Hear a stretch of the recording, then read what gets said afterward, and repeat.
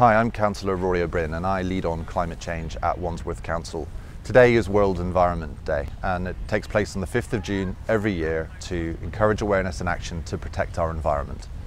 Now, although we've been in lockdown for a number of months, we have continued with our climate change work here at Wandsworth. It remains a priority for us. So, for example, we've completed our baselining of carbon emissions in the borough and will be reported to Finance Committee in July.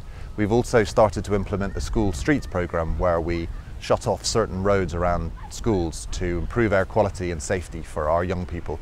And we're taking other action too, so we're asking the Mayor of London to reduce the speed on TfL roads to 20 miles an hour in line with our own roads. So we're very much getting on and implementing our climate change action plan. Now in London and across the rest of the country, we have experienced some of the clearest and cleanest air quality in decades.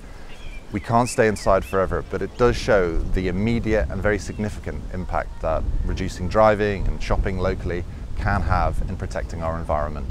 So on World Environment Day, it is a time to remember the kind of borough we want to live in and maybe some of the changes that we're going to have to make to get there.